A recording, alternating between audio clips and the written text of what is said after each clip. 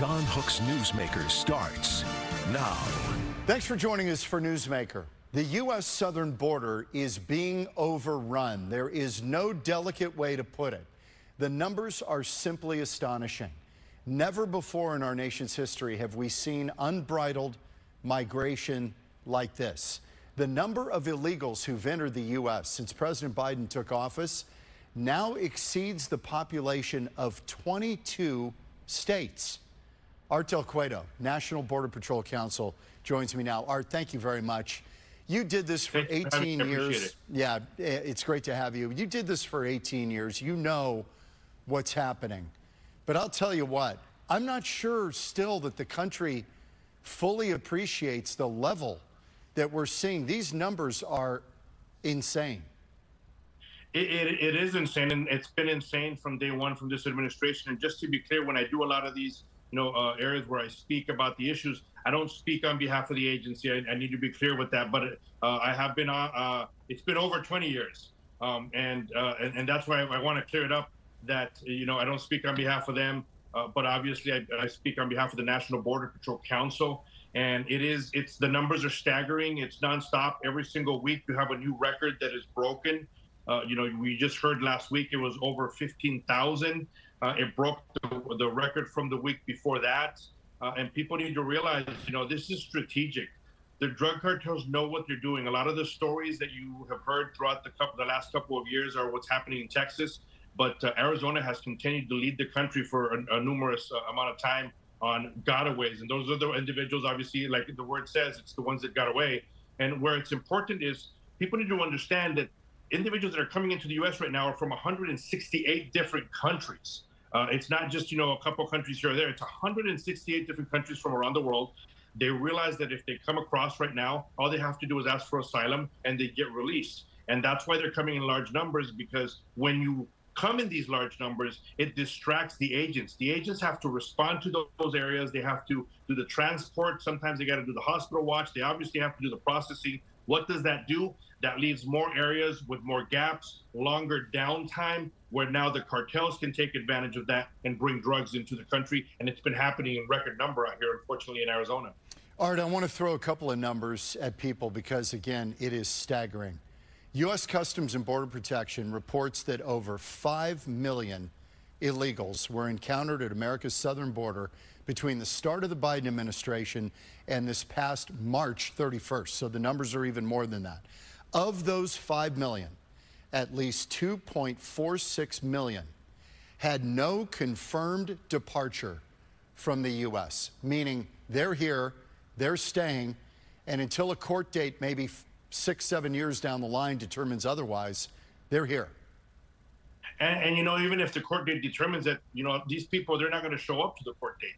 That's part of the problem is, you know, they realize it's a free for all come across. And a lot of those individuals that are coming across now that you're seeing the staggering numbers in Arizona are individuals from the ages of 18 to 35, military age men. And you're looking at individuals from different parts of Africa, different parts of Mauritania, uh, Serbia that continue to enter, people from Egypt. Uh, and they're coming through and they realize, hey, I'm not leaving. Uh, their, their intentions are not to leave. And I'll tell you how how, how, horrible it is and demoralizing it is for the men and women that are out there protecting our nation's borders is a lot of these individuals, when they're apprehended, they already ha- carry a handwritten note, a handwritten note in their pockets. Every single one of them is carrying it. And when they get detained, they hand it over, and that note contains the address of where they're supposedly going to in the United States, uh, a phone number of who's receiving them there, and the, the name and relationship to them of the individuals that are already receiving them in the United States. What does that tell you? That tells you that the word has gotten out throughout the criminal uh, cartels, through the uh, in, individuals that are smuggling them into the country, the individuals that are involved in the drug trafficking. The word has gone out and said, hey, this is all they require as long as you give them a name and a number. And, and they're already well uh, instructed to do so when they come across. That's what they hand over to the agent. And that's it. And they're voluntarily, most of them, turning themselves over because they want that. That means, okay, I'm here, I'm in, and I'll be sent on to my next location. That, that is correct. But look, there's still a group, uh, like I said, the gotaways, it's a huge number of gotaways that have continued to come into the United States. Uh, a lot of them, unfortunately, have, have been come through the, been coming through uh, the uh, southern Arizona because of you know of its remoteness out there. On the Tohono O'odham reservation. So it's just it's more remote. So even when I've talked to some individuals within the media, they said, "Look, we can get the story in Texas." They can. You can get a story in Texas if, if they go down there and they see because the entire southern border is in chaos right now. But the story is uh, definitely different in Arizona because of its remoteness, and the cartels realize that, so they're bringing in more numbers. But look, when you start talking about gotaways, it is so easy to enter the United States, hand over that paper, and say, "I'm here for asylum," and get released in the United States. Can you just imagine how horrific the criminal backward uh, background or the criminal intentions are of those individuals that take that extra step not to even get detected? Art, you testified before Congress recently. You said DHS has the funding to handle the border. We don't need new laws. We have laws on the books. We need to enforce them. That's an interesting That's position. down to look last last administration with rhetoric alone, the numbers went down from day one. This administration with rhetoric alone, the numbers uh, shot up astronomically from day one. Uh, what they need to do is they bring immigration judges and asylum officers down to the border. They need to detain people. That word will get out quick. That hey, you don't just have to ask for asylum and get released. Once they realize that they're getting detained, the, the numbers will go down because you know, hey, now there's a consequence for their actions. And I believe it's Henry Cuellar himself that said, uh, you know, out of Texas, Congressman out of Texas, that of all these individuals that are asking for asylum, he said that less than seven percent are actually have a true asylum claim. So what does that tell you? Uh, economic reasons are coming here. Art, I'm curious. I've asked everyone on this program on this subject. Why is the Biden administration going this route? What is the goal? I mean, this is obviously a willful change in policy that happened when President Biden took office. There was a shift. There's no denying it. It's a fact. What do you think is the goal to allow this to continue? Look, it, it is so horrific, and I, have tried to ask myself that question, and all I can think of right now, and it's a horrible answer. But the people that are in charge of the of the of this administration, the leadership right now, they're they're they're more concerned with the hate that they had towards the last administration than any love they have for this country or the future of America. Okay, I, I mean, I'm, I'm trying to size up what might be happening. Is it possible that they want this to get so much attention that Congress will be forced to do something? At the very least, we, we obviously need to tighten up the asylum laws in this country. Coming over and just claiming asylum and then vanishing into the interior for six, seven years, that doesn't seem to be a very prudent plan. No, it's definitely not. But I guess you know they, they have they have something in place that they can use to stop it. They're just choosing not to do it. They need the political will to make it stop. Would that be remain in Mexico? Remain in Mexico is one of them. And obviously, look, we're a country of immigrants. We realize that, but we need to have these laws that are that are on the books be uh, done correctly, and people need to abide by these laws, and there has to be consequences if you break those laws. Okay, you mentioned the gotaways. So let me just give a, a couple more numbers 2.1 million illegals released into the United States, 1.7 million known gotaways. When I've covered the border years past, the theory was for every one person caught, three were getting in. Is that about right? Uh, you know what? They, they, you'd have to see the numbers, but unfortunately, there's not even enough agents out there uh, or, or enough of a true scientific way to figure out how many are getting away. But when you're seeing, you know, so many individuals come across and you're having agents say, we're, we're, we have individuals detained and we don't have enough agents to go after the ones that, we're, that we hear coming through, uh, that's already a problem. Art, um, you know, we've mentioned President Biden and the Biden administration several times in this program. There was obviously a shift that happened um, when he took office. There's, again, there's no denying it. What did you see on the border? What dramatically changed in what we were doing before and what happened after? Uh, you, you know, what it was is a lot of it was rhetoric. You know, the rhetoric came out and they just said, look, um, when they were running their campaign, President Biden specifically said, if people come, no one will be turned away, no one will be detained. Uh, and they realize that. So that's why you're getting what you're getting. People from all over the world realize it's a free for all. They realized it, it was from day one. And, and, and as I said, look, uh, we have we have laws. And, and unfortunately, because of people circumventing these uh, these laws and just say, "Hey, I'm going to come one, come all, just come all, just ask for asylum, get released," a lot of the individuals that are going through the proper steps to get their documentation, they're also suffering, you know, with more wait times because you know everyone's cutting in front of the line uh, of them. So unfortunately, uh, the criminals are, are, ahead of the game, and those that are actually following the law are, are suffering as well. Where, where are we going from here, do you think, Art, on, on this issue? I mean, people are watching this, and, and again, you know, it depends on what news outlet you're going to watch, who's covering it and who's not. To me, it's a story. It seems pretty obvious if you're getting these kind of numbers. Where, where do we go from here? honestly, it's disastrous. I don't know where to go from here, but every single week we have another record number of individuals coming across. And we're going to need the right political will. We're going to need the right individuals in office. And, and, and people need to really do their homework and, and realize know that a lot of these elections they have a lot of consequences. With the gotaways, how concerned are you about our own national security and who's coming in that we don't know about? Well, it, it's extremely concerning. You know, it's it's it's the gotaways. That's what they are. If it's that easy to come across and get released, can you imagine how horrific the criminal background is on those individuals that uh, are going that extra step? So you're worried there there could be something down the line. Definitely, definitely worried, especially when you're getting large groups of people that have traveled together for a long time and they've been together for such a long time. Uh, you know, from a country uh, that's a special interest, and then you get one or two of those individuals in that group that are on the terrorist watch list, how do you not get concerned with the rest of the people that are in the group as well? Art Del Cueto, National Border Patrol Council. Art, thank you for spending some time with us on Newsmaker. Thank you for having me. Art Del Cueto. Coming up next, a brother is donating his kidney to save the life of his older brother. We're going to talk to him coming up next.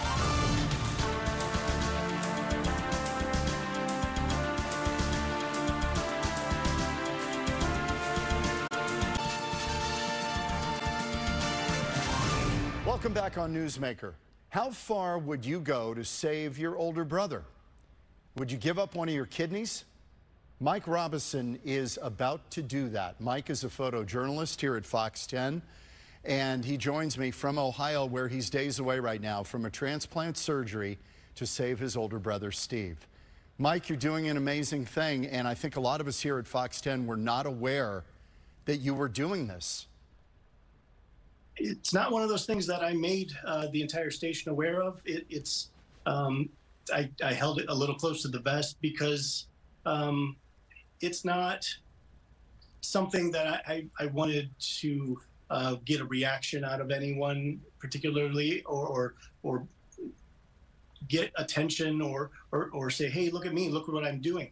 I, I'm doing this for my brother. I'm not doing it for me. And and I'm trying to be a little humble, a little, um, you know, something along those lines about it. But at the same time, um, it is life changing. You're right. And for anyone watching to think, oh, uh, I, I would never be able to do that, or or that's not something I could do. You absolutely can. You can give a kidney. You can give a portion of your liver. You could change someone's life. It, it is it is one of the most powerful things you can do, and and to living donors, or deceased donors. It is such a profound way to shape lives and change lives, and you're doing it.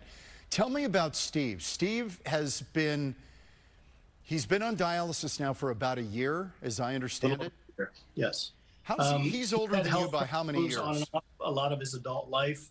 Um, about two years ago, uh, he went to the hospital, to the emergency room, um, and uh, they, they found that he had beginnings of, of kidney disease. He had diabetes, um, and it, uh, it, it progressed to the point where uh, a, a, kidney doctor is known as a nephrologist. So if I use that term, uh, I've explained it.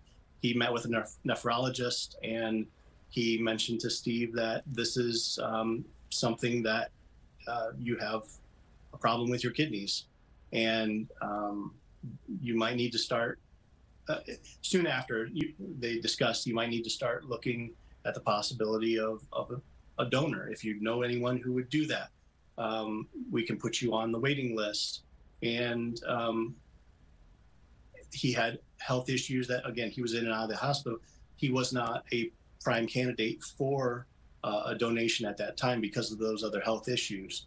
But when the time came that he could um, be considered as okay, I'm a candidate now for a kidney transplant, my sister-in-law, his wife Tammy, and I, along with Steve, we had discussions with myself, with my our middle brother. Um, could you see yourself as being a donor? And um, I, I said yes. Mike, that that's that is a very tough decision. I don't want to get too personal, but I don't I don't know if your if your brother's issues with his kidney, his kidneys, are genetic. I mean, and, and you've got two. Everybody's got two. It's a great redundancy system in the human body that you've got two, and you can operate perfectly fine on one. I get all that, but uh, do you have to kind of assess your own health going down the line and whether? you know, giving up one puts you at any jeopardy? I've been very fortunate to lead a very um, healthy lifestyle, you know, by the grace of God. And um, going forward, when I have one kidney after this donation, it will enlarge slightly, uh, is what I've been told by the oh, doctors, wow. and it will make up for um, only having one. So further health issues down the line in life, I, I hope I have none. Um, they obviously, the doctors, the nursing staff here uh, that I've been meeting with here at Ohio State Medical Center, Ohio State University Medical Center, have said, yes, you'll have to kind of be careful uh, and take care of that one kidney because you don't have a backup now. Um, but um, it's one of those things where I can live with one. You did say it's a great redundancy um, in the human body we have two lungs, but you can't donate a lung. Um, you have two eyes, but you're not going to donate an eye. You can donate a kidney. Yeah. Still live a perfectly healthy life, and um, that's why I've chosen to do this for my my brother. It, will be life changing. It'll be life saving. Mike, take me back to the original discussions when this all kind of came to the fore. So your your brother Steve, who's older than you by how how many years? Nine. Okay. He kind of approaches you and your and your middle brother to say, is this something you would consider? Once you kind of sign on, is there counseling that's given from the medical center to everybody involved to get everybody kind of prepared for what lies ahead? Yes. About two months ago, I came here to Columbus to the Ohio State University Medical Center. I met with the doctors, the surgeon, the nephrologist, uh, social worker, um, the donation uh, donor advocate, um, and, and it was a great staff um, all around, people working with me, talking with me through the process of um, when you are approved, when you have achieved that status, the, this is the time frame, this is the window we're looking at. The donor advocate made sure on numerous occasions, um, and, and I, I still have the option. I, I know what my response is, but you can always say no. You can always back out no questions asked if you don't feel like you can move forward that something is telling you this isn't possible i've always said to her dana i appreciate that but we're moving forward. If there's no medical reason for me to to not do this we're moving forward. It so, is still uh, a brave it's a brave thing. I mean did steve really press you and say look mike you don't have to do this oh no. No. It, it was never pressure one way or the other. This was my decision. Um, my middle brother uh, does not have quite the support staff waiting for him at home. I've got you. I've got the entire Fox 10 family. I've got my family at home. I've, I've got everyone on my side. The, the outpouring of support has been amazing. Been absolutely amazing. Well, you deserve it. I mean, you're being very self-effacing about this, but this is a big, big deal. How arduous is the surgery itself to remove your kidney and put it in your brother Steve? For me, they said it'll be around three to four hours. For him, it'll be four to five hours. Um, they said that they will have the kidney out of me and into him within a half hour. And that's, excuse me, that's the magic of living donation. Cadavers and, and um, organs from those individuals who have passed on are great, are life saving, are life changing in their own right. But a living donation, that is a live organ being donated straight into another living body. And um, what's great about that is uh, the nephrologist uh, spoke on this actually a little earlier today. Is that you can plan the event. You know that on this Friday you can go in. It'll be taken from Mike. Within a half hour, it will go into Steve. We can plan this to happen for a cadaver or for, I use that term. It sounds inappropriate, but that that's the proper term from a person who's passed on. You can't plan for that. If you're on a waiting list, you kind of just have to take it as it comes Yeah, right. and hope for the best. Hope the timing works out right. Okay, a lot has been made in the local press there about you are an Ohio State guy, a huge super fan. Your brother is a Michigan fan. okay, so He Mich- grew up a Michigan fan. I know now been a high school referee, and he can't root for a specific team. But yes, growing up, he was a Michigan fan through and through.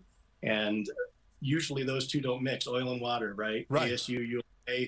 It's not the same rivalry there in Arizona as it is here. Sure. I'm actually in enemy territory in their house as, a, as their Michigan uh, Michigan family, but um, actually just him. The rest of the family. uh, Okay, so, so on that point, with Michigan just beating Ohio State a week ago, how much stress did that put on this whole thing? Well, this was happening regardless. but my, my my quote that I keep telling Steve is, "I'm turning you into a, an Ohio State fan from the inside out, one piece at a time." That is great. That is hilarious. And my my hope with this also is by doing this selfless deed, as you said, that this will be the turn that Ohio State needs, karma, to get Ohio Ah. State back on the winning track. Okay, I don't know. okay, you're willing to give it up literally for for Literally. the the Ohio State University. Giving a, giving a pound of flesh, right? Mike, what is your recovery going to look like? When will you start to be back at full strength? Um, I'm not even going to talk about coming back to work. We won't worry about that right now. But what's kind of the recovery timetable for you? I will be out of the hospital. Uh, they're hopeful by uh, Sunday, which would be two days post surgery. Um, then I stay here in Ohio for anything that would pop up. Uh, and then after two weeks, there's a, a uh, follow up uh, checkup. And then after that time, I can go back to Arizona, hopefully, if everything comes in with a clean bill of health after two weeks. My brother, um, the one who lives in Dallas, who um, was also a possibility. He is coming here, flying back with me to Arizona. They don't even want me pulling my own luggage. That's how little strain they want me lifting. Oh, wow. Lifting less than, uh, I think it's five pounds, a five pound weight restriction uh, after two weeks. So um, I'll be at, back in Arizona, hopefully before Christmas, to be with my family, and um, back to work. Fingers crossed Yeah.